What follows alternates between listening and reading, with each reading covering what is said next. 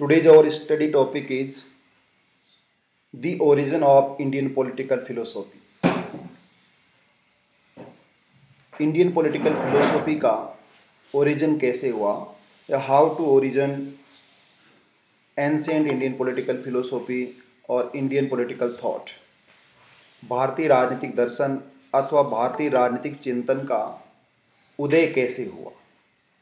What what was the background of this scenario इस परिदृश्य के पीछे का जो पृष्ठभूमि थी, वो क्या थी?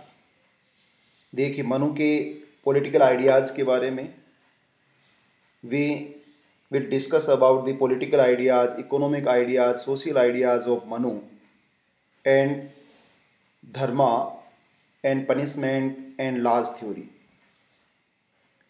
इन सबसे पहले we should know about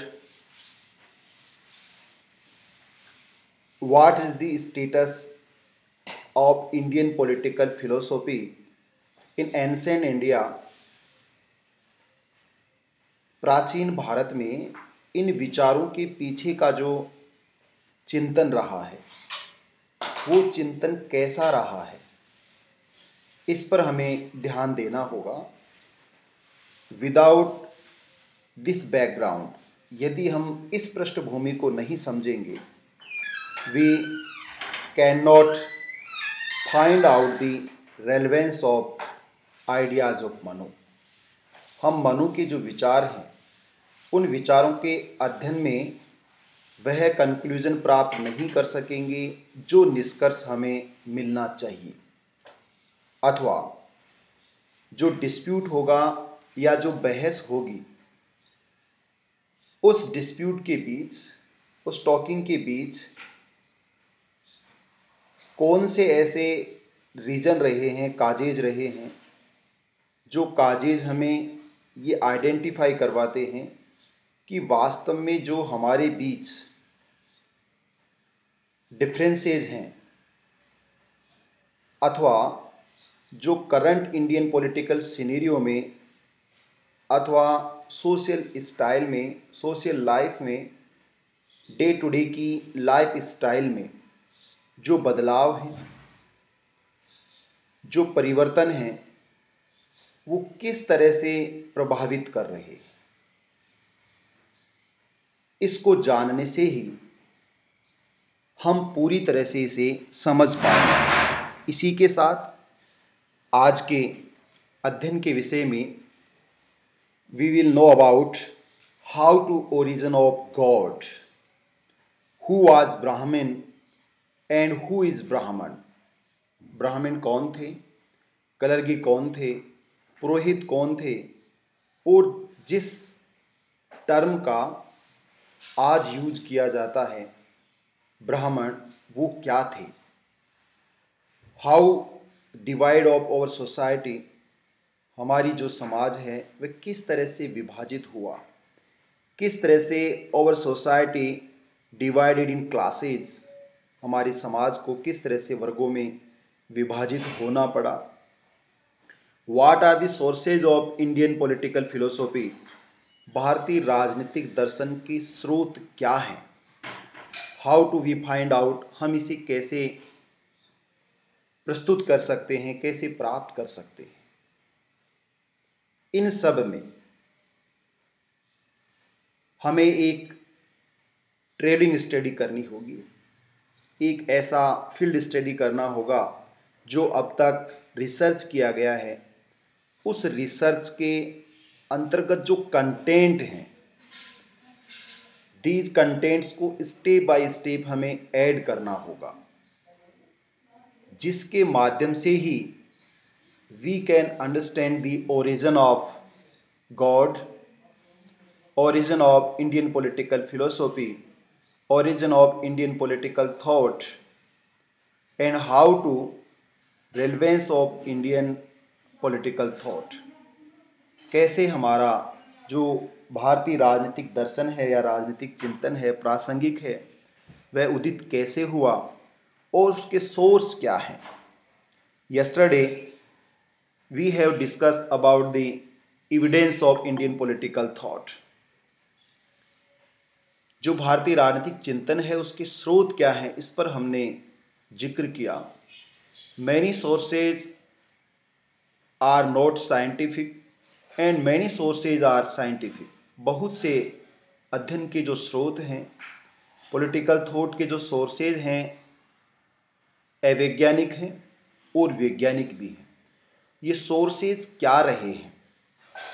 कैसे जो मनु के आइडियाज़ हैं अथवा हम कह सकते हैं political social and economic ideas of Manu. Manu के उन विचारों में या मानव धर्म शास्त्र ideas described in the Manu Smriti and the Manav Dharma Shastra जो मानव धर्म शास्त्र अथवा मनुस्मृति में विचार डिस्क्राइब किए गए हैं। What was the background of these ideas उन विचारों का इतिहास क्या था? हिस्ट्री क्या थी? पृष्ठभूमि क्या थी? इसलिए because in the next classes we will discuss about the divine theory of state which propounded by the Manu. Manu says that king as well as god. It means king is a god. According to Manu, king is not only god but king is a supreme god. Manu का यह कहना है कि जो राजा होता है, वह भगवान की तरह है। जैसे भगवान है, वैसे ही राजा है। न केवल इतना ही है, न केवल राजा का पर्यायवाची, राजा जो है, ईश्वर का पर्यायवाची है, अपितु वह बेटर देन गॉड ईश्वर से भी सर्वश्रेष्ठ है। Because the king has hold the eight merits of god वह ईश्वर की आठ डिवाइन वर्च्यू से संपन्न होता है। देवीय गुणों से परिपूर्ण होता है। इसलिए मनु का राजा महादेवता होता है और उस राजा को पीपुल के द्वारा, जनता के द्वारा, प्रजा के द्वारा डिसमिस नहीं किया जा सकता, पदच्युत या पद से नहीं हटाया जा सकता। ये भी खासियत है। आखिरकार मनु ने ऐसा क्यों कहा? What is the reason of Manuj divine idea of king Manu के ऐसे देवीय विचारों के पीछे क्या कारण था? इसको ट्रेस आउट करने के लिए हमें Indus the Indus valley civilisation से बिगिनिंग करनी होगी। It means from the Indus valley civilisation to Vedas literature Upanishad Purana and Kautilya's Arthashastra यहाँ तक कि हमें यात्रा करनी होगी, जिसके माध्यम से we can understand that Wahi Manu says that king is a god Manu ऐसा क्यों कहते हैं कि राजा एक देवता होता है? बहुत से विचार जो मनु के आइडियाज़ जो मनु हैं वी विल एग्री और वी विल नॉट एग्री हम सहमत भी होंगे और असहमत भी होंगे। Because many ideas will depend on scientific reason and not depend will be scientific reason बहुत से विचार वैज्ञानिक संदर्भ पर आधारित होंगे और वैज्ञानिक संदर्भ पर आधारित नहीं होंगे, जिसके बारे में हम आपस में डिस्कस करेंगे, परिचर्चा करेंगे। आपसे भी उसका जवाब मांगा जाएगा। मैं भी आपके क्वेश्चन का आंसर दूँगा। इसे कैसे, इसके लिए हमें बैकग्राउंड है जो PPT I will share with you PPT मैं आपके साथ पीपीटी शेयर करूँगा और उस पीपीटी में थोड़ा सा आपको ध्यान से देखना है और समझना है कि जो सोर्सेज हैं उसको किस तरह से फाइंड आउट किया गया है अथवा जो सोशल लाइफ रही है, उस एंसेंट ओल्ड मैन भी उसको कहा जा सकता है अथवा हम कह सकते हैं होमोसोफियन एरा जो वैज्ञानिक मानव या जिसको Homo sapiens scientific name of the human है, उससे पहले की जो स्थिति है। उसको स्टेप टू स्टेप हमें एक दूसरे के साथ अटैच करना होगा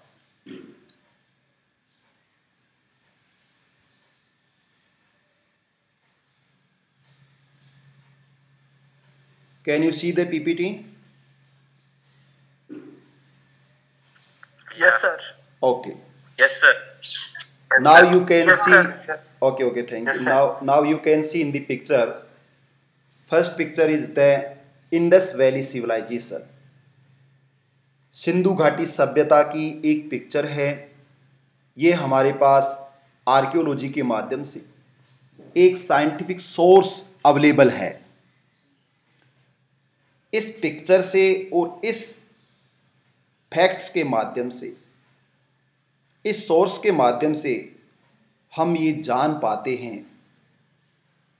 We know that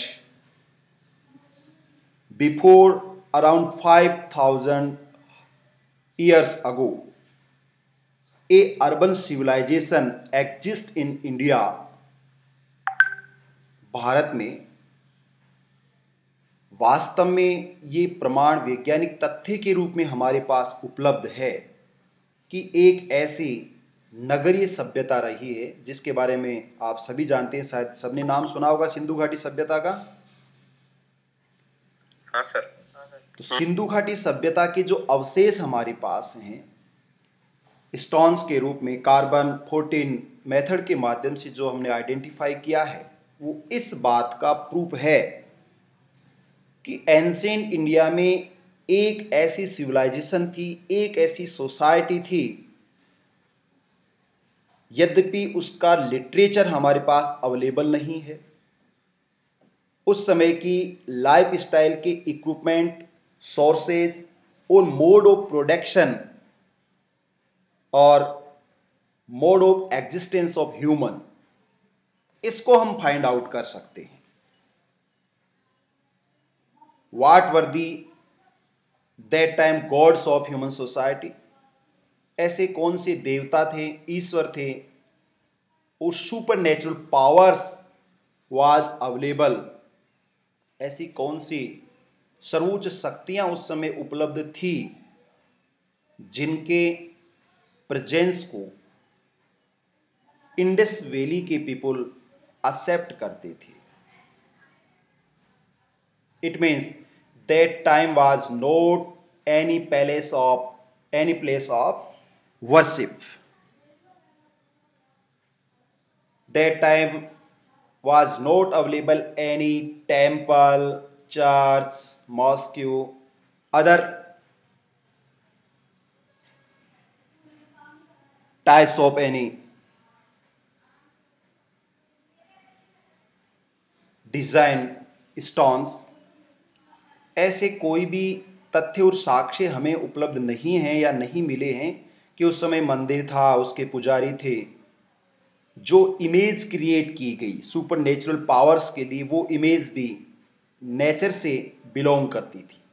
It means tree such as people animals bull horse lord Shiva Pashupati मातृशक्ति को महत्व देने वाला यह समय था। ये सबसे बड़ा अपने पास एक सोर्स है, जिसके माध्यम से एग्जिस्टेंस ऑफ़ ह्यूमन जो मानव की उपस्थिति है, उसके बारे में, वो भी इंडिया के संदर्भ में है ना। इंडियन पॉलिटिकल थॉट्स के बारे में डिस्कस कर रहे हैं, इसलिए कि वास्तव में इतना पुराना भारतीय मानव था या नहीं था। और यदि भारतीय मानव था तो उसके जो पॉलिटिकल आइडियाज़ थे, उनको कैसे ट्रेस किया जाए, उनको कैसे रेखांकित किया जाए, इसलिए हमें इंडस वैली सिविलाइजेशन और that time life style of human इसके बारे में देखना होगा। Second picture you can see the Vedic civilisation वैदिक सभ्यता की बात है। जब हमारे पास unwritten literature was available in the Vedic era जिन वेदों की बात हमने कल की कितने वेद होते हैं? How many types of Vedas four types of Vedas number one is that Rigveda second is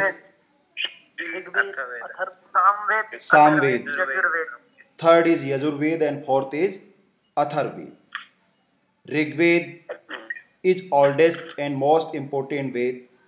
And the Atharved is newest Ved.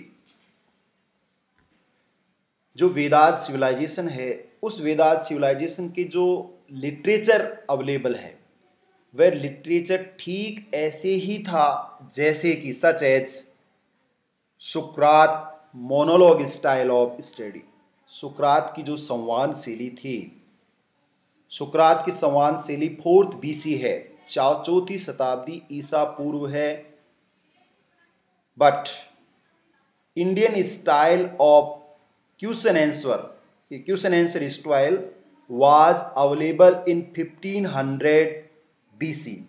It means around 1200 years old rather than Western political philosophy.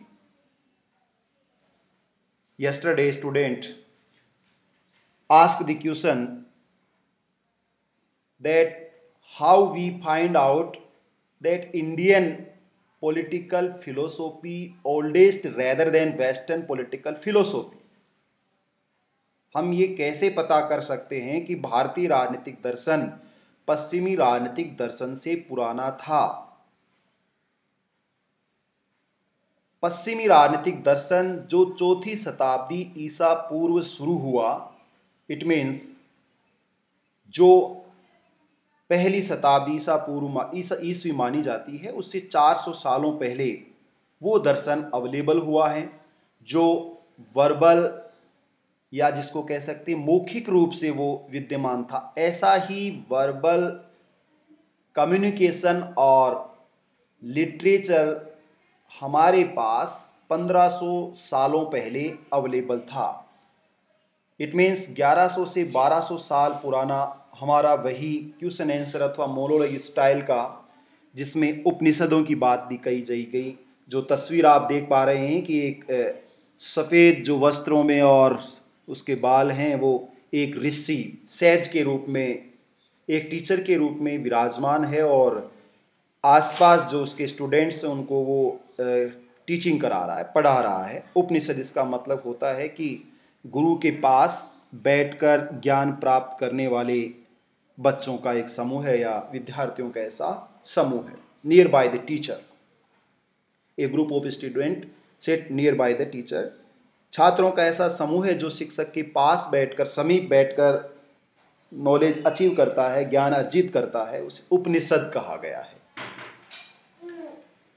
तीसरी picture जो आपको आगे भी दिखाई दी जाएगी, ये civilization का, जो इंडस सिविलाइजेशन है, उसका एरिया बता रहा है, जो basically Shimla current state of India या province of state India then Kutch का रन और पाकिस्तान अरब सी आप इसको कह सकते हो, इस अरब महासागर के आसपास तक का जो क्षेत्र था, वो आपको इंडस वैली सिविलाइजेशन के लिए बता रहा है।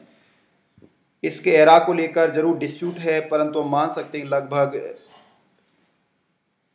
2350 टू 1700 बीसी के आसपास इसका काल रहा है। कुछ अवशेष जो हमें मिले हैं वो लगभग फाइव थाउज़ेंड ईयर्स अगो के मिले हैं।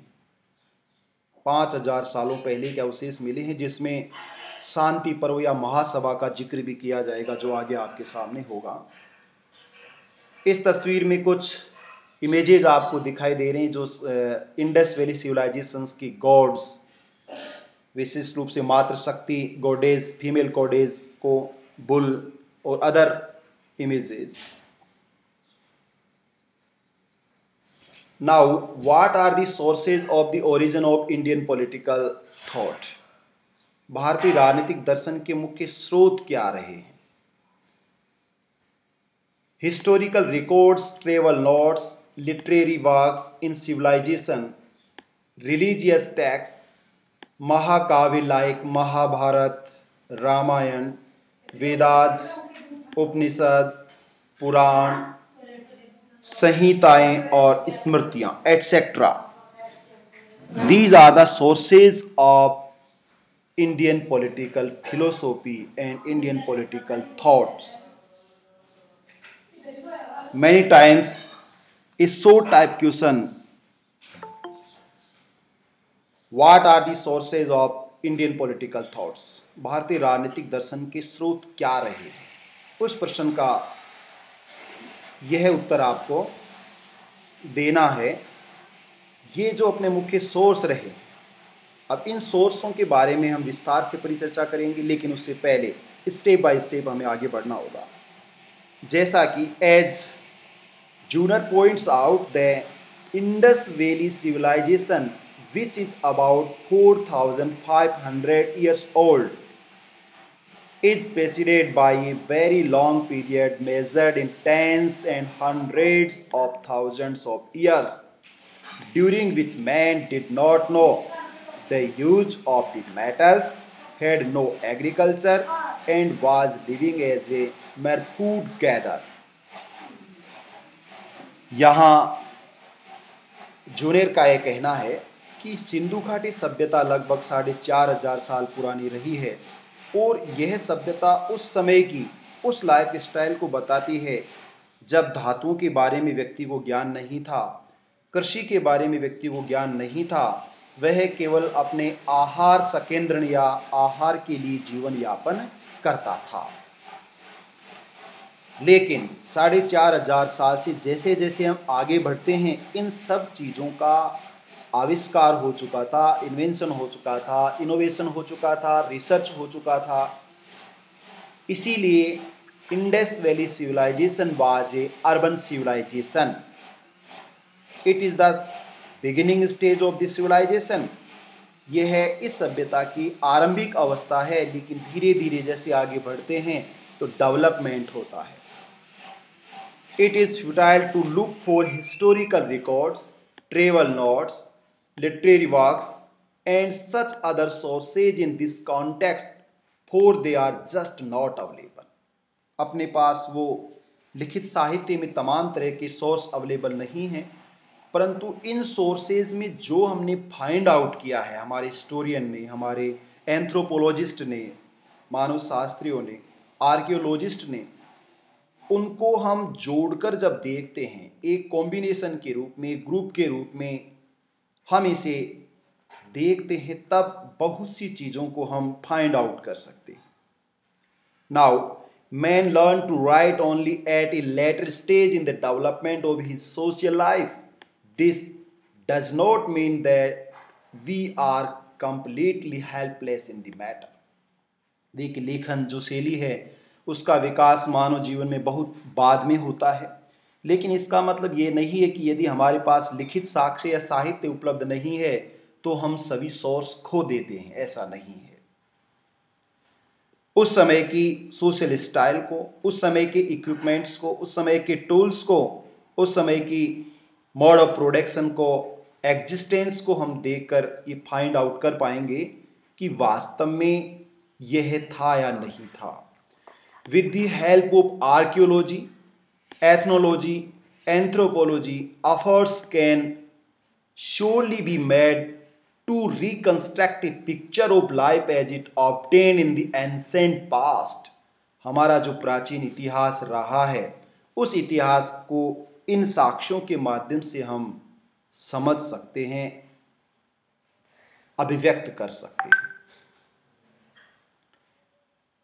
देखिए, इसका मतलब है कि जिन सोर्सेज का यहाँ ज़िक्र किया जा रहा है, उन सोर्सेज के बैकग्राउंड को हम ट्रेस आउट करते हैं, रेखांकित करते हैं तो हमें मालूम होता है कि उस समय की लाइफ स्टाइल के साथ, उस समय की सोशल लाइफ के साथ what was the available and what was not available क्या उपलब्ध था और क्या उपलब्ध नहीं था?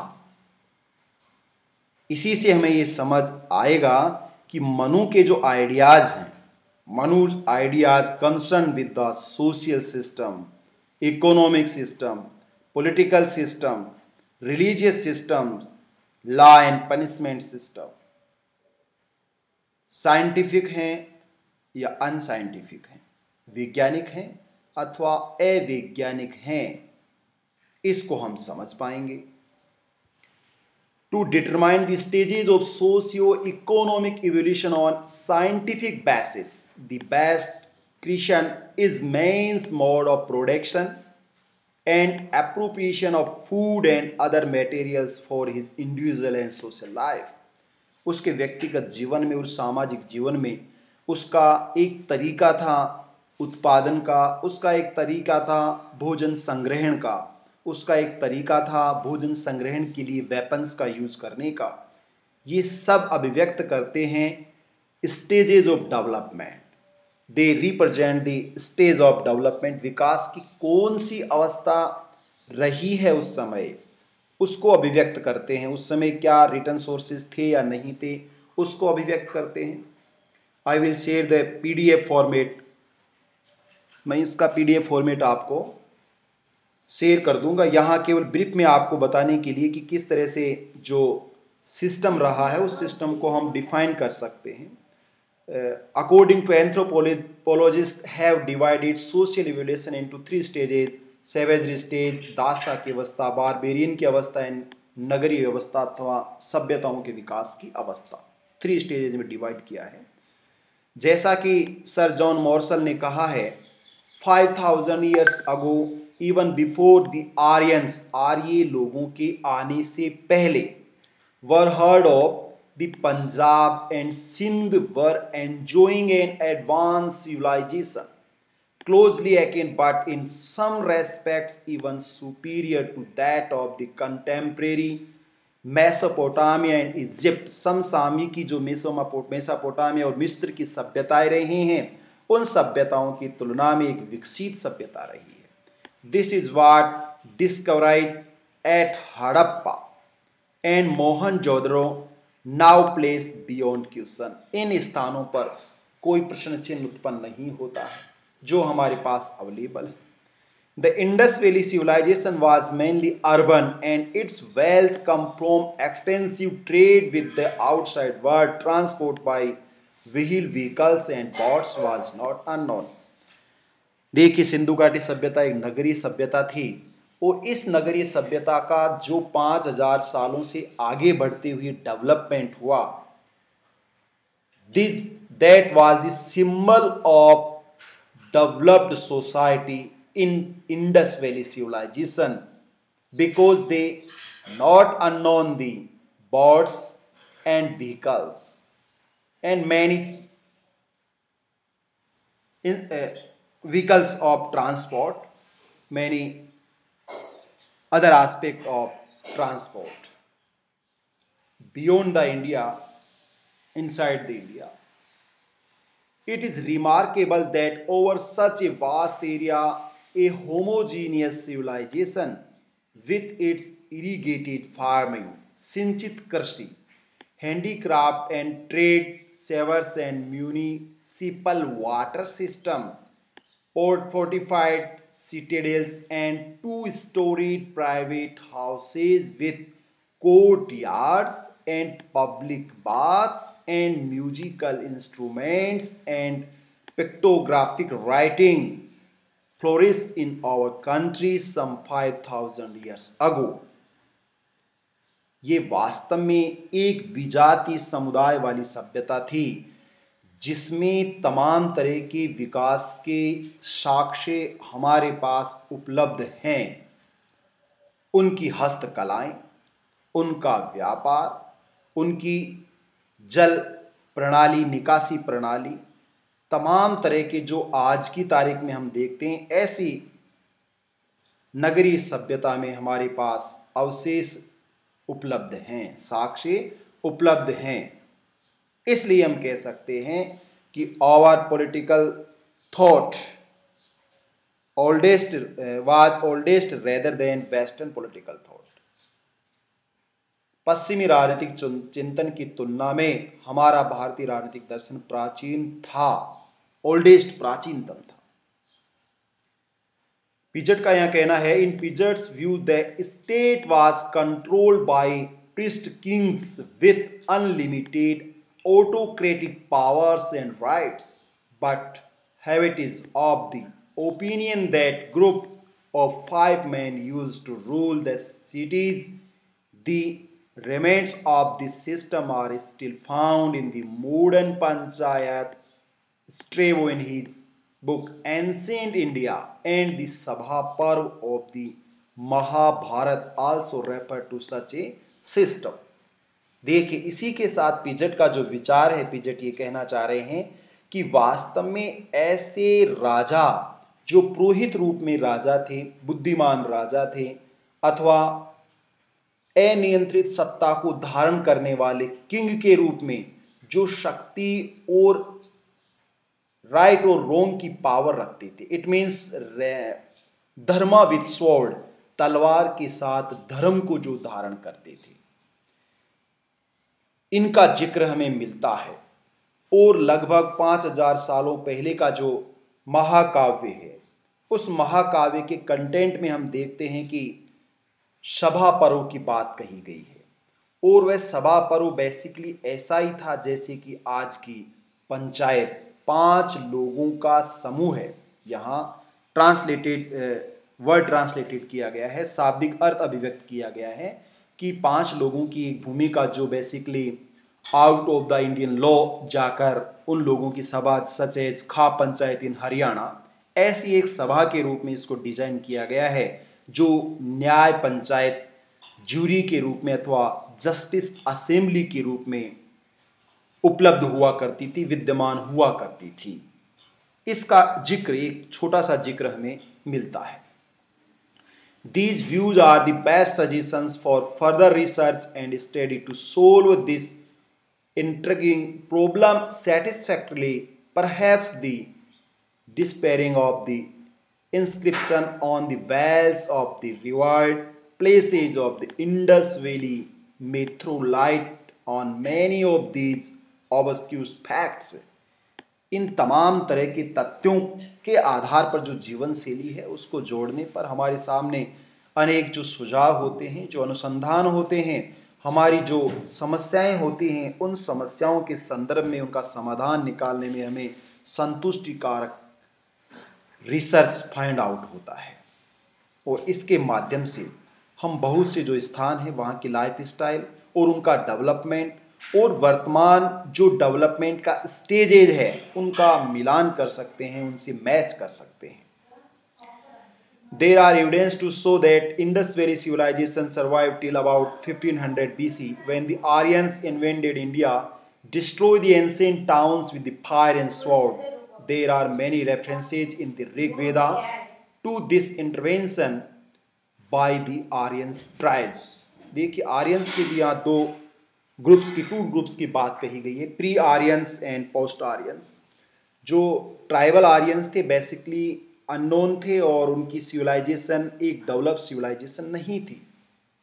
परंतु आर्यंस के जो गोड थे और इंडस वैली के जो गोड थे, उनमें डिफरेंसेस था।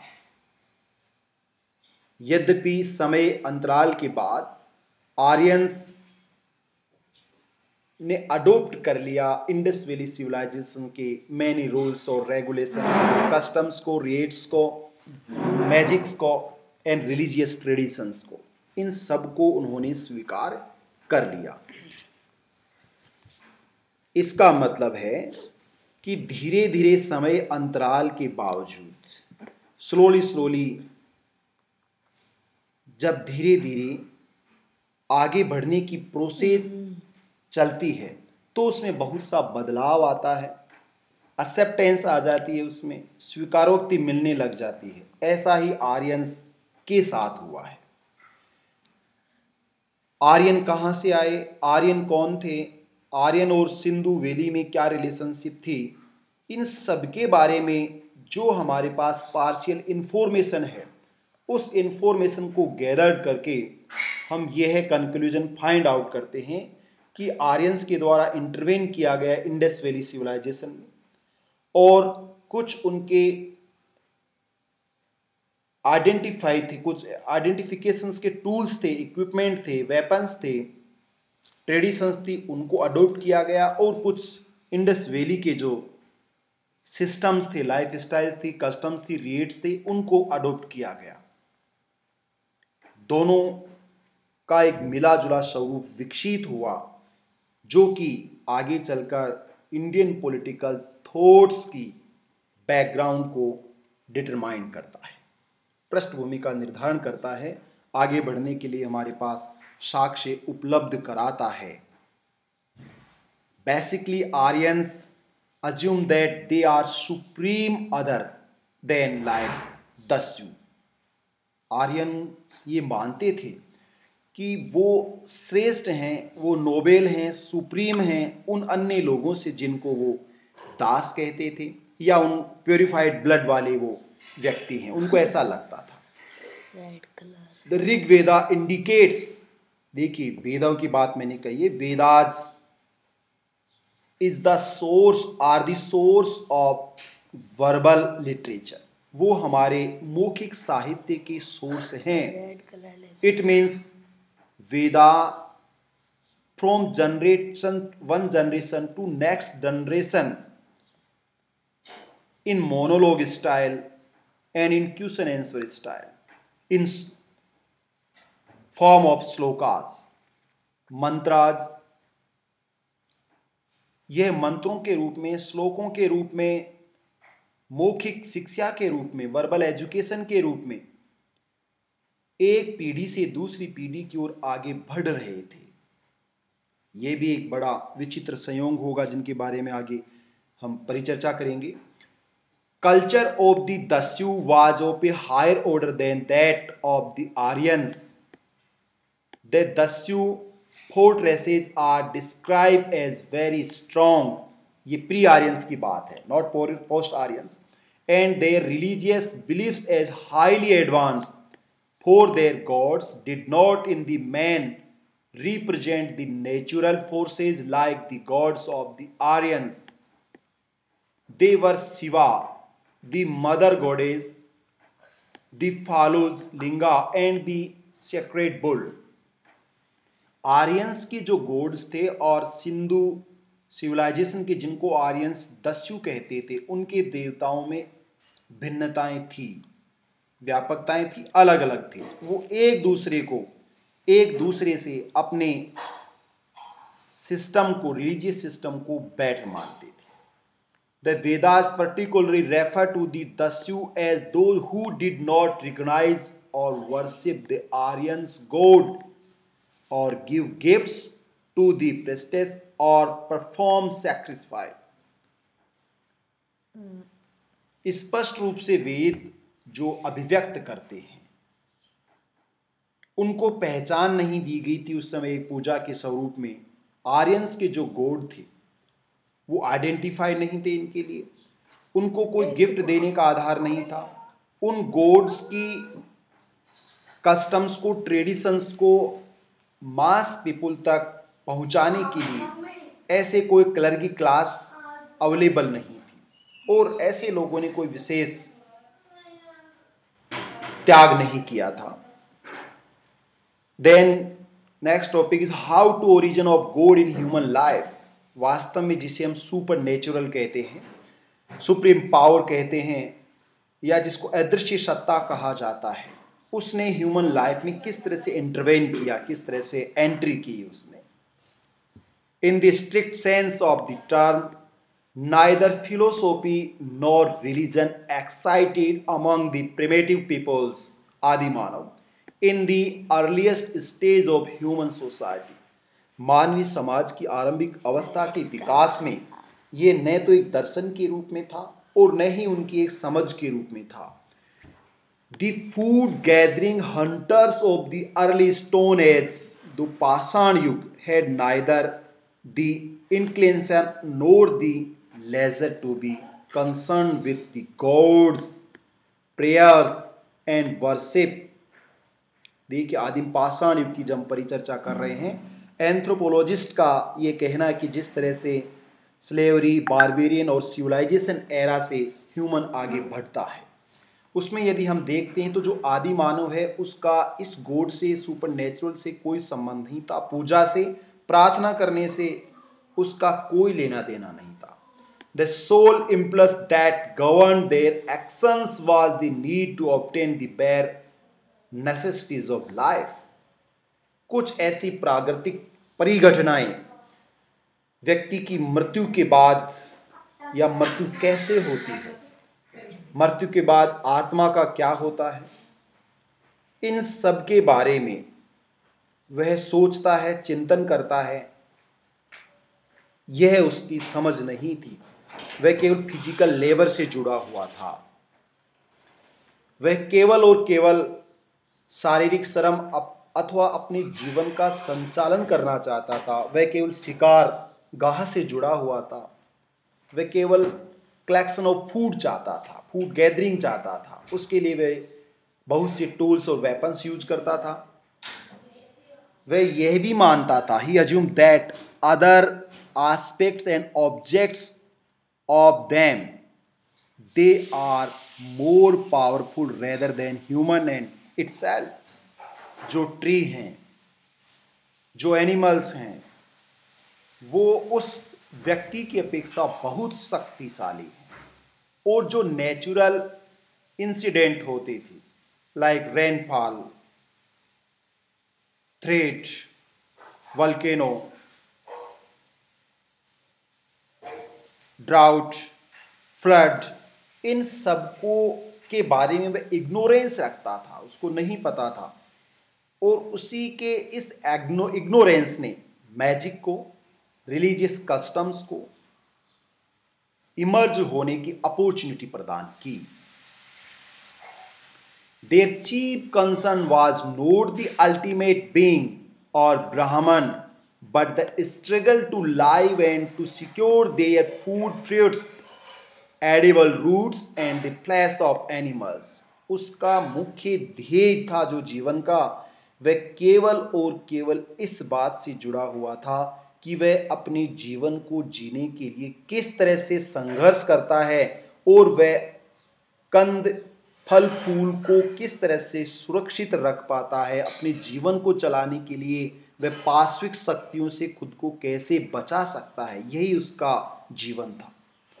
इस प्रकार से thus in the day to day life primitive man आदि मानव were always guided by a spontaneous materialist outlook वह भौतिकतावादी दर्शन से अपना अथवा अपने एग्जिस्टिंग लाइफ को प्रोटेक्ट करने के लिए गाइडेड होता था with each advance in the mastery over nature प्रकृति का जो जादूगिरी है their horizons widened but their knowledge of nature and its properties was very limited.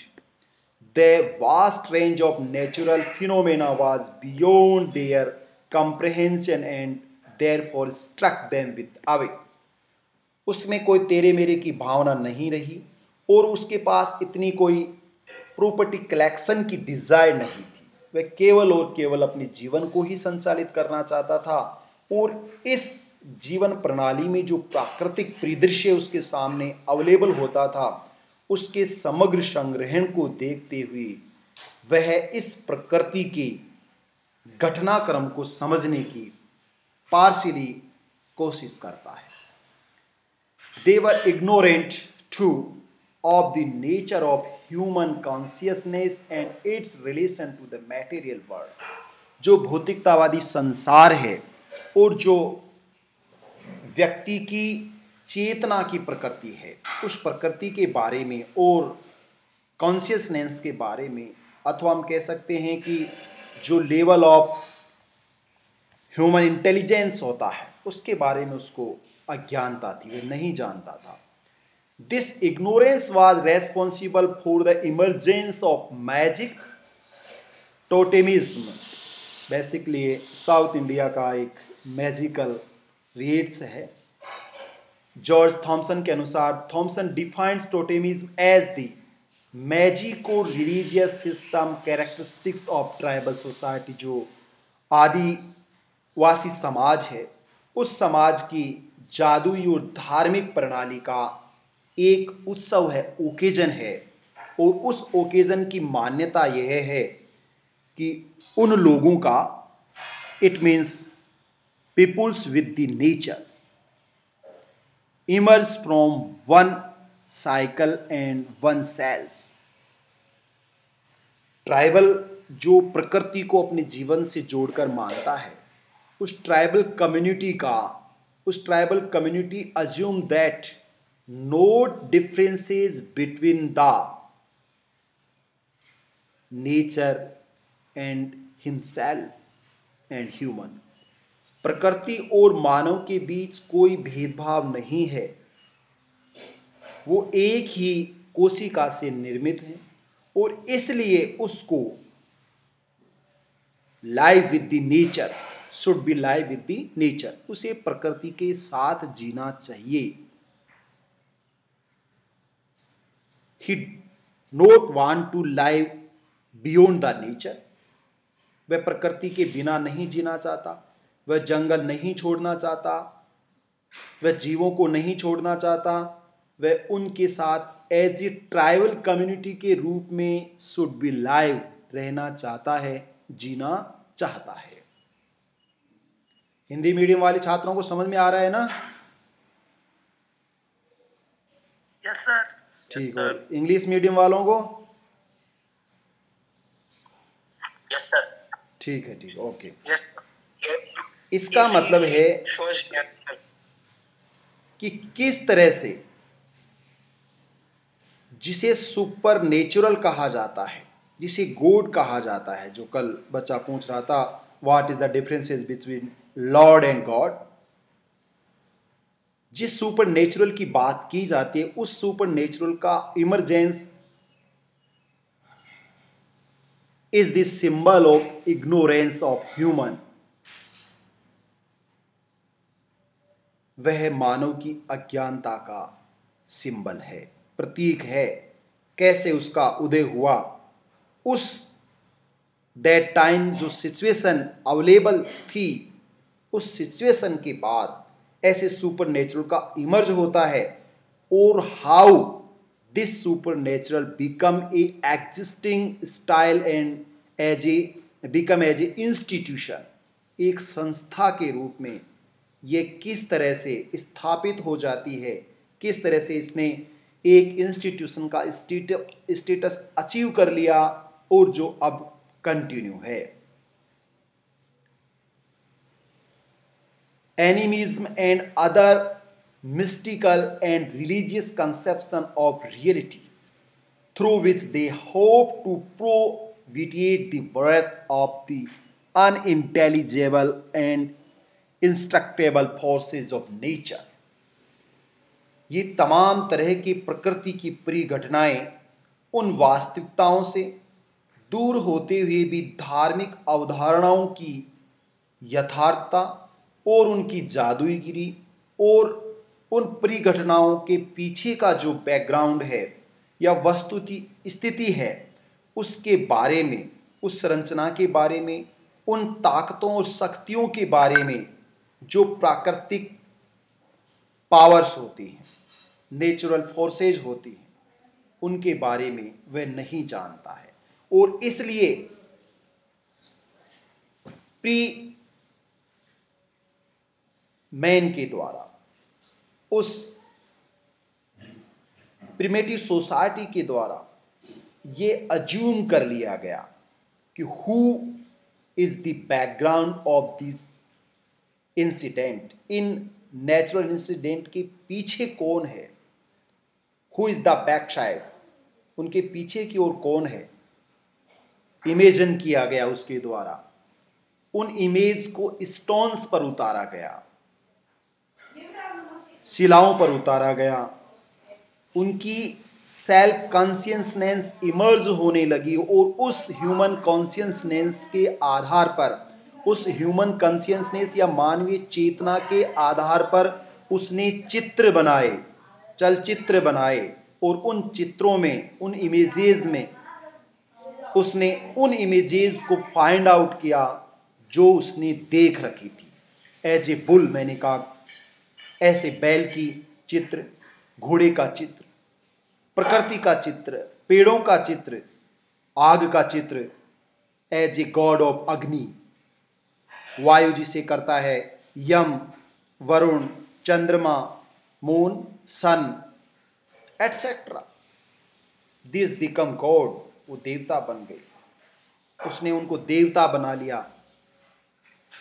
Animism corresponded to a low level of development of the productive forces उत्पादनकारी शक्तियों का एक हीन स्तर होता है। Ignorant of the true nature of the universe and the physical physiological and psychological structure of living beings unable to have any scientific explanation for the causes of birth and death. Thoughts and dreams they came to imagine that, that feelings sensation and ideas were the creation of some inexplicable spirit of soul which excited somewhere in the human body and left it at the time of death. जब धीरे धीरे चेतना विकसित होने लगती है, उस चेतना के साथ ही उसकी भावनाएँ, उसकी अभिवर्तियाँ, उसके विचार, जन्म, मृत्यु से जुड़ी हुई परिघटनाएँ, वह समझ नहीं पाता है और वह सोचने लगता है। उसकी ह्यूमन कॉन्शियसनेस का इमर्ज होता है इमेजिन करने लगता है। इन सब चीज़ों के पीछे मानवीय चेतना ने एक काल्पनिक परिघटना को चित्रित किया, उदित किया और उसी इमेजनरी कंसेप्ट का रिज़ल्ट था God oh my God movie में अथवा पी के मूवी में आप देख रहे हैं, मैं ये नहीं कह रहा कि मूवी बैड एंड गुड है, परंतु उसमें कुछ जो रियलिटी होती है, उसको इमेजनरी कॉन्सेप्ट में हमारे सामने प्रस्तुत किया गया है। हाउ टू आइडेंटिफाई हम कैसे कर सकते हैं? एक मैन को आइडेंटिफाई कैसे कर सकते हैं? हम एग्ज़ाम में पास होने के लिए क्या करते हैं? हम समझने के लिए क्या करते हैं? अपने फियर से प्रोटेक्ट फ्रॉम फियर भय से अपने आप को बचाने के लिए हम क्या करते हैं? ईश्वर से प्रेज करते हैं, प्रार्थना करते हैं। ये सब चीज़ें that time was not available but beyond that time, they have emerged with the human consciousness and with the human lifestyle. They believe the human thoughts, ideas, and emotions. It means human consciousness has emerged in, the, in that time were supernatural forces independent of the material body was the basis of rudimentary religious and idealist tendencies among the primitive people. आदि मानव की तमाम तरह की परंपराओं को, इन रूढ़िवादियों को, धार्मिक परिघटनाओं को, भौतिक शरीर के साथ, स्वतंत्र प्राकृतिक घटनाओं के साथ सुपर नेचुरल के साथ उसने अपने विचारों को, उसने अपने चिंतन को और उसने अपनी भावनाओं को विश्वास में बदल लिया। But this is not so इतना ही नहीं है। Religion is not merely belief in god और गोड्स एंड प्रेयर्स ये केवल ईश्वर और ईश्वर तथा ईश्वर के साथ की जाने वाली प्रार्थनाओं से ही संबंधित नहीं रहा है। Religion in its widest sense is the totality of human religion action objects and ideas embodied in the belief in the supernatural. Belief in the supernatural is the essential characteristics of all religions and is their basis क्या आपको ऐसा लगता है कि कोई भी religion without super natural के exist करता है? Impossible it is absolutely impossible like religion Sikh religion believe in Guru Nanak Dev Islam religion belief in पैगंबर मोहम्मद साहब Christian religion विलिपिन Isa Masih Hindu religion Jain religion Bauddh religion Parsi religion etcetera folk religion Jambheshwar Bishnoi Vaishnav Shiv ये सब क्या है? सुमित चौधरी, क्या आप बता सकते हो कि ऐसे रिलीजन का नाम जो बिना किसी प्राकृतिक शक्ति में अथवा किसी व्यक्ति में विश्वास करे बिना एग्जिस्ट करता हो। Amit Mandiwal. Aryan Chaudhary can you explain Hardik Bagdi. Can you tell me any religion exist without the belief of super natural power and special person? Hardik bagdi can you explain me No, sir. No, sir. it means Sir, sir. Excuse me, sir. हाँ हाँ बताइए Sir, Akbar started one religion, and uh, I don't know. I don't remember that name. Ilahi Uh, uh, yes, sir. या या देखिए जिस religion की आप बात कर रहे हैं जब हम रिलीजन को स्थापित करते हैं तब वह आइडेंटिफाई करता है जिस दीन इलाही की बात कर रहे हैं वो ठीक ऐसे ही है जैसे Atmiya Sabha was established by the Raja Ram Mohan Roy. Liberalness in religion. वह किसी धर्म में उदारता का सिंबल होता है कि आप सब लोगों को विदाउट एनी आइडेंटिटी एक रूल्स को फॉलो करना है। लेकिन ये कहाँ तक सफल हुआ? ये कभी सफल नहीं हुआ। पार्शियली सक्सेस उसने अचीव की, लेकिन वह रिलीजन के रूप में एस्टाब्लिश नहीं हो पाया। इट मीन्स यदि रिलीजन की हम बात करते हैं तो रिलीजन विदाउट आइडेंटिटी एग्जिस्ट नहीं करता। It means although he exist it means that is dharma that was not religion that is not religion वह ना तो रिलीजन था और ना ही रिलीजन है it means that is dharma वह धर्म है वह उन मेंटल बैरियर से दूर है जो मानसिक बंधन जैसे कि पंजाब नौजवान सभा, भगत सिंह के द्वारा स्थापित की गई। और भगत सिंह सेड दैट कहते हैं कि उसकी पंजाब नौजवान सभा में सभी लोगों का स्वागत है। भले ही वो पगड़ी के साथ आता है, भले ही वो जनेऊ के साथ आता है, भले ही वो टोपी के साथ आता है it means no any mental barrier of person on human वह व्यक्ति पर और मानव पर किसी प्रकार का मानसिक, धार्मिक बंधन नहीं है कि वह उस आइडेंटिटी के साथ आए और बियॉन्ड द आइडेंटिटी या विदाउट द आइडेंटिटी आए it means that is not religion that is dharma वह मानवता के हित में है, वह जनहित में है। इसलिए यहाँ पर जो अभिव्यक्त किया गया है कि जब हम ह्यूमन संबंधों की बात करते हैं, मानव संबंध it means marriage death birth birth occasions math occasions, death occasions etc actions जो हम कार्य करते हैं इट मीन्स और कल्चर ऑब्जेक्ट्स जिस प्रकार से हम टाइप ऑफ़ वर्शिप है और गॉड है, अभिव्यक्त करने का तरीका है, हम अपने आप को रिप्रेजेंट करते हैं, त्याग देते हैं अलग अलग तरीके से, जंजीरों से पीटना, बलि दे देना, धधकते हुए अंगारों पर चलना, सफ़ेद वस्त्र पहनना नंगे पैर चलना बिना वस्त्रों के रहना तमाम तरह के एक्शंस और ऑब्जेक्ट्स हैं आइडियाज़ हैं। वो एक belief in this super natural को रिफ्लेक्ट करते हैं। इसलिए एनी रिलीजन की ये असेंशियल कैरेक्टरिस्टिक्स होती है कि वह सुपर नेचुरल में बिलीव करे तभी वो रिलीजन होगा अन्यथा रिलीजन नहीं होगा। To say that magic is the corner of science is also untenable. Belief in magical powers was not the result of knowledge, but of ignorance and superstition.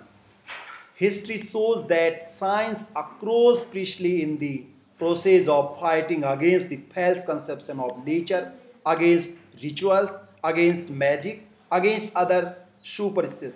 जो भी हमारी ऐसी अवधारणाएँ अवचेतनाएँ और मिथ्या अभिव्यक्ताएँ हैं झूठी रीति रिवाज हैं जादू टोना है, उन सबको नकारने का कार्य करता है विज्ञान। इसी तरह no temple as special place for worship has been discovered in the Indus valley. Sindhu घाटी सभ्यता में किसी मंदिर के अवशेष हमें अभी तक नहीं मिले हैं। The religious relics to the ancient days exist mostly of the form of seals figurines and stone image which throw some light on the believes and customs of the people इन सबको अभिव्यक्त करने के जो चित्रांकन किए गए हैं, वो सब ह्यूमन कॉन्शियसनेस की या इमेजनरी कॉन्शियसनेस का रिज़ल्ट था। इसी तरह से जो सिंधु घाटी सभ्यताएँ थी, उनके जो पूजा अर्चना के आधार थे, उनके जो गोड्स थे डिफरेंट थे और अलग अलग जो नेचर थे, उसको उन्होंने अभिव्यक्त करने की कोशिश की है। शिवा के रूप में और अन्य जो गोड्स हैं, पशुपतिनाथ के रूप में, या त्रिम्फंतम नटराज, जो नाचते हुए नटराज की डांसिंग है नटराज की बात कही गई है, उसको भी वर्शिप का आधार माना गया है बाद में चलकर without temple particularly of the cult of the bull जो पशुओं की बलि दी जाती है स्पेशल रूप से बैल की बलि या सांड की बलि जिसको आप कह सकते हो have nothing to do with the Vedic faith, but anticipate dominant elements of the historic Brahmanism.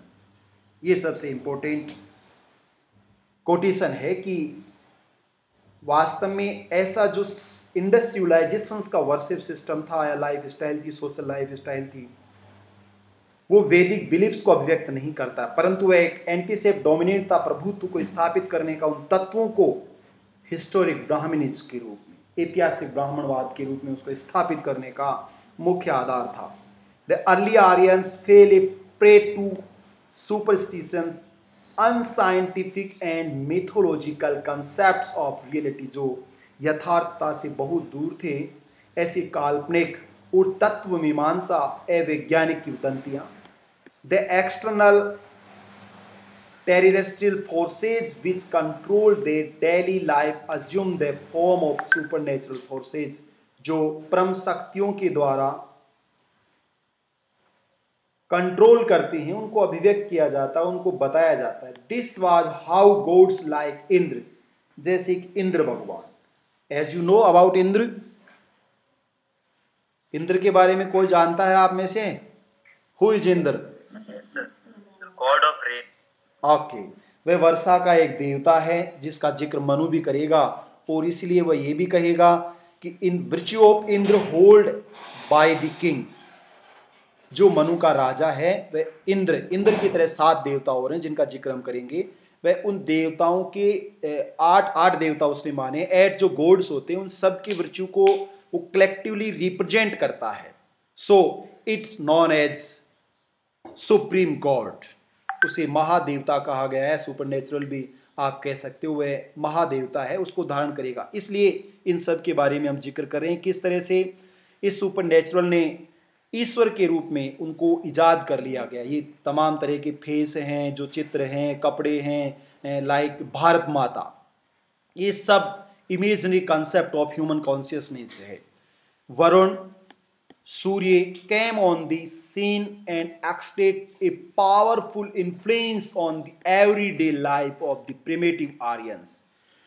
जो प्रारंभिक आर्य आदि मानव के रूप में आर्यंस थे, उनकी रोज़ाना की जीवन प्रक्रिया में उन सबने इसको एक्सेप्ट कर लिया उन सब में ये अभिव्यक्त होने लगा और इसे इतना ही नहीं, ये पावरफुल इन्फ्लुएंस रखने लगा, इतना अधिक प्रभाव रखने लगा कि उसको नकारा नहीं जा सकता। Such as an for instance if I said that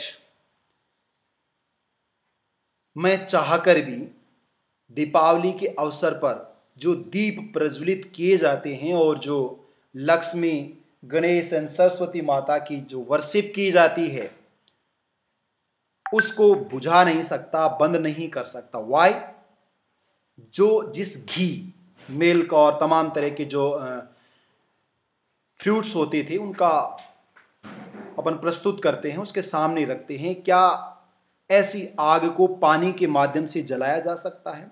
it is not possible ये संभव नहीं है।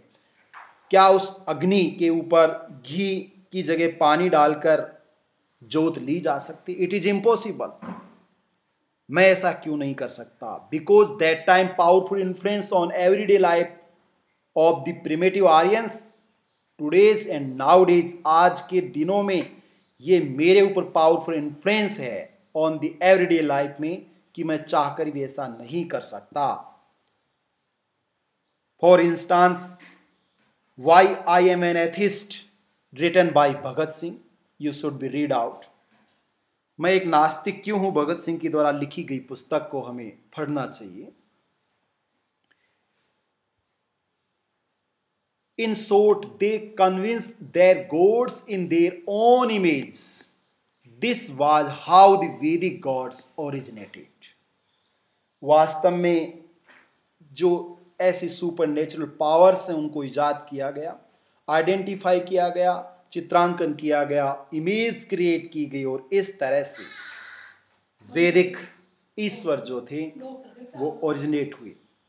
The task defeating the non Aryans who were living in more advance advance civilization was by no means an easy one so they turn the gods for help prayed for victory in the battles the Rigveda abounds in such prays her is on one तमाम तरह के जो primitive society के persons थे, अपने hunter के लिए, अपने फ़ूड गैदरिंग के लिए सुपर नेचुरल्स के साथ प्रे करने लगे, अपने साथ उनको जोड़ने लगे, अपने साथ कंसर्न करने लगे और एक अनसाइंटिफिक ह्यूमन कॉन्शियसनेस को उन्होंने डेवलप कर लिया।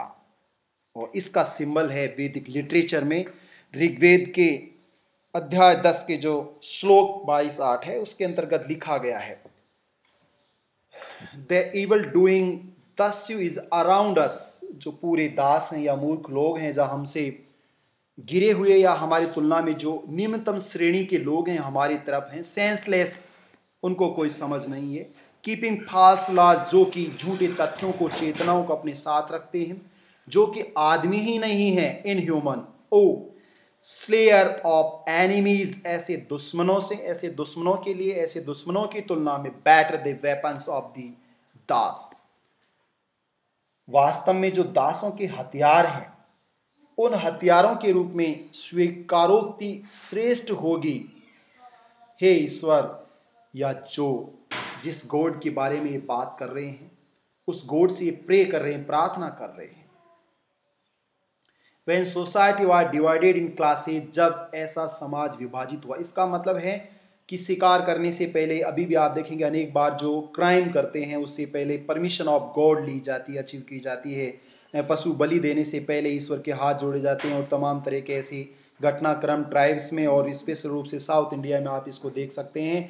अथवा हम भी यज्ञ करते हैं और तमाम तरह की पूजा अर्चना और जो भी किया जाता है, अब क्राइम हमने कर लिया है तो ईश्वर से माफ़ीनामा करते हैं। कबूलनामा करते हैं कॉन्ट्रैक्ट करते हैं कि यदि I will become I S officers I will do praise मैं, आपको प्रशंसित करूँगा मैं सवामनी करूँगा या आपको भेंट चढ़ाऊँगा। हे ईश्वर आपके इक्यावन रुपये का प्रसाद या लड्डू या जो भी तमाम तरह के ओकेजन आप करते हैं ये सब क्या है? ये इसी का रिज़ल्ट है। जो हिस्ट्री मैंने आपको बताई है जो इंडियन थॉट का बिगिनिंग एरा था उसी का ये परिणाम है जो अब बहुत शताब्दियों बाद एक बेटर फॉर्म में आ चुका है। वैन जब समाज वर्गों में विभाजित हुआ the richer section of the यहाँ आप ध्यान से देखना the richer section of population began engage proficient in the chanting of hymns और for performance of rites and sacrifice on large scale बड़े पैमाने पर उनके द्वारा ये त्याग किया गया, इसको छोड़ा गया, मंत्रों का उच्चारण किया गया और परफॉर्म किया गया। इस कॉन्सियसनेस को गॉड्स कॉन्सियसनेस को सुपर नेचुरल कॉन्सियसनेस को अभिव्यक्त करने के लिए प्रोफिशियंट के रूप में, लाभकारी तत्वों के रूप में उन प्रशिक्षित साधुओं के रूप में, ऋषियों के रूप में, या हम कह सकते हैं पुरोहित के रूप में। These priests known as Brahmins ये ध्यान रखोगे नॉट ब्राह्मण ब्राह्मीन्स ये जो प्रिसेस्ट थे, पुजारी थे, पुरोहित थे, या इसका मतलब कह सकते हैं कि एक स्पेसिफिक पर्सन जिसको स्पेसिफिक फ़ंक्शंस को ऑपरेट करने के लिए जाना जाता है। Such as sophist in Greece and western political thought जैसे कि पश्चिमी राजनीतिक चिंतन में सोफिस्ट वर्ड का यूज़ किया गया है as well as the term priest in use in Indian political thought भारतीय राजनीतिक दर्शन में। उस सोफिस्ट के स्थान पर इस शब्द का यूज़ किया गया है, जो जाने जाते थे Brahmins not Brahman. It means knowledgeable person it means the person वो व्यक्ति जिनको वास्तव में आइडेंटिफाई किया गया।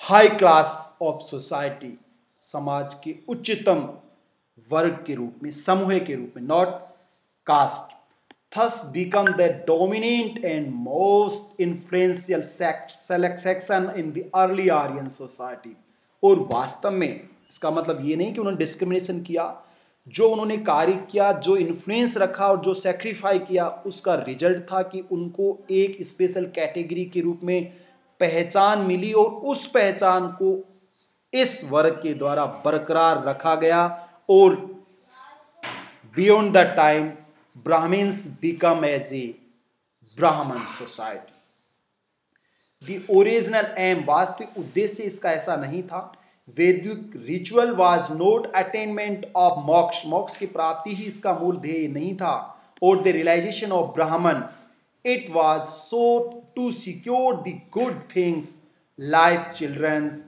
wealth and the like और द एक्सट्रीमिनेट द एनिमी दुश्मनों से अपने आप को बचाए रखना, उनको पराजित करना, अपने परिवार का, अपनी संपत्ति का और अपने खुद का सृजन करना, संरक्षण करना और संवर्धन करना इसका मूल ध्येय था।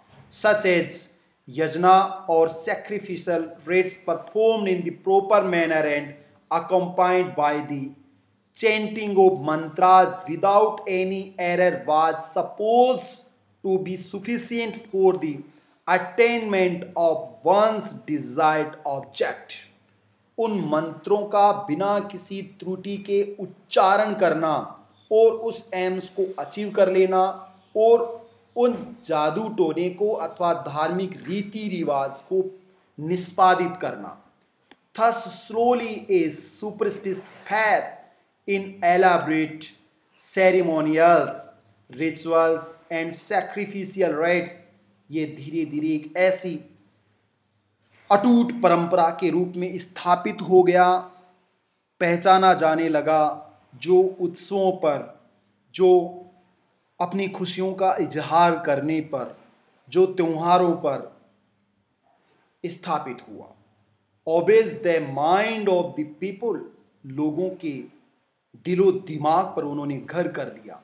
पुरोहित Brahmin priests not Brahman Purohit who presided over the performance of these yajnas and who gave instructions for the correct chanting of mantras यही वह क्लास था, वर्ग था, जिसके द्वारा इस वर्बल वैदिक लिटरेचर का प्रोनाउंसिएशन किया जाता था विदाउट मंत्रोच्चार किया जाता था without any error become more and more powerful वो धीरे धीरे बहुत शक्तिशाली बन गए ऋषि Angiras Bharadwaj Karna, Rishi Vashishtha, and other rishis says were the prominent Purohit of that time. और इन जिन ऋषियों का मैंने नाम लिया है, निसंदेह नॉलेबल नॉलेजेबल प्रशंस के रूप में, व्यक्ति के रूप में उन्होंने, एक ब्राह्मीन्स क्लास के रूप में उन्होंने इस सिविलाइजेशन को, इस कल्चर को इस कस्टम्स को, इस ट्रेडिशंस को, और इस ह्यूमन कॉन्सियसनेस को स्थापित किया आइडेंटिफाई किया, और लोगों के रग रग में इसे भर दिया अथवा स्थापित कर दिया। इसलिए इतना आसान नहीं है जो आजकल हम कहते हैं।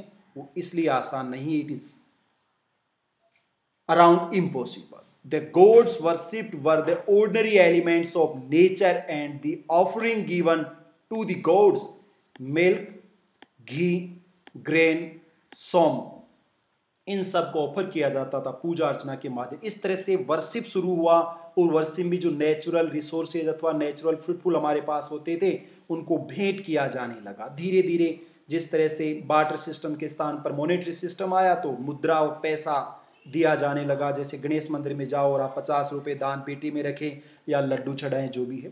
But in course of time the ritual become an institutional in its ये सबसे बड़ी बात है कि जो ऐसी व्यक्तिगत इंडिपेंडेंट आइडेंटिटी थी इंडिविजुअल आइडेंटिटी थी बिकम ए इंस्टीट्यूशनल आइडेंटिटी ये एक संस्था बन गई और संस्था की पैरोकार स्थापित हो गई।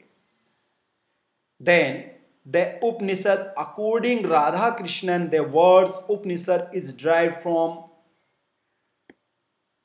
and car is down and let to set groups of people set near the teacher totally from him the truth of the world इस दुनिया का सत्य जानने के लिए सही और गलत को जानने के लिए शिक्षक के पास बैठकर जो नॉलेज को गेन करता है सत्य को जानता है उसे ही उपनिषद के रूप इट मीन्स वेदात जो लिटरेचर था वैदिक लिटरेचर था उस वैदिक लिटरेचर की कंटिन्यूटी ही उपनिषद है in general sense are continuation of Vedas and are known as the Vedanta और concluding portions of the Vedas.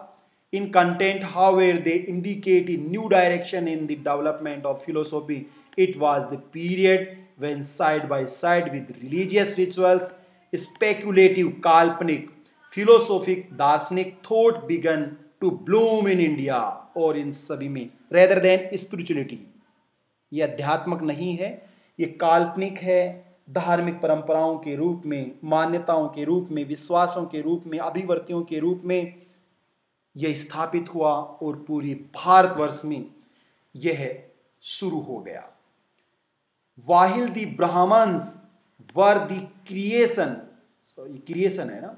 Creation of ब्राह्मण priests the, it means Brahman जिसको आप कहते हो, ये पुरोहित जिसको आप कहते हो, ये वास्तव में उन प्रशिष्ट का नॉलेजेबल प्रश्न का क्रिएशन था not caste not class at that time Upanishad on and philosophic speculative in which Kshatriya also played a prominent part और इनको प्रोटेक्ट करने के लिए इंक्रीज करने के लिए क्षत्रिय के रूप में आगे बढ़ाने का एक प्रयास किया गया। Books were are known in the early Aryans इस समय जो पुस्तकें हैं, उनका कोई ज्ञान नहीं था। ज्ञात थी they learn the hymns and the prayers by rotes and they purohits transmitted them orally to the to their pupils and successors these transmission of Vedic mantras by words of mouth went on from generation to generation already defined the Vedas आज we known then today are in fact only a composition of these hymns and the mantras इन कविताओं के रूप में, श्लोकों के रूप में, मंत्रों के रूप में इनको अभिव्यक्त किया जाता है, जो verbal literature of Indian political thoughts है। The Vedas thus can be said to have developed in two stages इनका दो स्तरों पर विकास हुआ। The first stages was that there gradual composition by the various purohit and sages ऋषियों के रूप में ओवर द ईयर्स वर्षों तक इन पुरोहितों के रूप में, ऋषियों के रूप में इनको संरक्षित किया गया है, संरक्षित किया गया है आगे बढ़ाया गया है। And the second of the composition of those scattered hymns into the four compact groups of Samhitas already defined Rigveda Samaveda Yajurveda and Atharvaveda of this the Rigveda is the oldest the largest, and the most important Veda, and the Atharva is newest Veda. इन वेदों में चार वेदों की बात कही है group की बात कही गई है, जो लिटरेचर के रूप में वर्बल लिटरेचर के रूप में हमारे पास अवेलेबल है, उसको अभिव्यक्त किया गया है। मैक्स मोलर ने वेदों की जो रचना काल है, उसको लेकर अभिव्यक्त किया है कि अराउंड ये हज़ार वर्षा ईसा पूर्व और आठ सौ ईसा पूर्व के लगभग इनका लेखांकन किया गया है। Max Muller holds the basis of religious and literary evidence. The primitive heavens of Rigveda belong to the period between 1000 and the later portions between the 800 Refson also suggest that the most ancient hymns of the Rig Veda date from a period at least years before the Christian era ये ईसा से लगभग हज़ार साल पहले अथवा 800 साल पहले according to Radhakrishnan there is evidence to indicate with some certainty that heavens were current 15 centuries before Christian ईसा से लगभग 1500 या 15 शताब्दी ईसा पूर्व ये अभिव्यक्त किया गया था। इस तरह से हम वैदिक साहित्य तक अपनी हिस्ट्री को पॉलिटिकल थॉट को ट्रेस आउट करते हैं। और अब वेदों के बाद वेद जो मुख्य हैं, इनमें क्या अभिव्यक्त किया गया है? उपनिषदों में क्या अभिव्यक्त किया गया है? पुराणों में क्या अभिव्यक्त किया गया है? इन ब्रीफ हम discuss we will be discuss then political ideas of Manu we will discuss then political ideas of Manu Manu के राजनीतिक चिंतन के बारे में। नेक्स्ट मंडे को क्लास में डिस्कस करेंगे और उसका टॉपिक होगा पॉलिटिकल आइडियाज़ ऑफ़ मनु तो today's my lecture has been completed now session is open for your tuition